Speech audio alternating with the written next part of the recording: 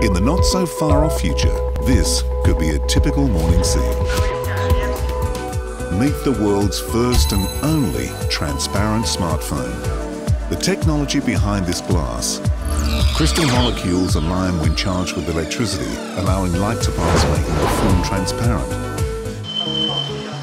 They're taking an ancient material and creating completely new products out of it.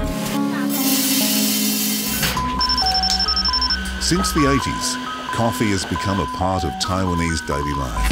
Jason Chen, founder of Singtex, saw it as gold.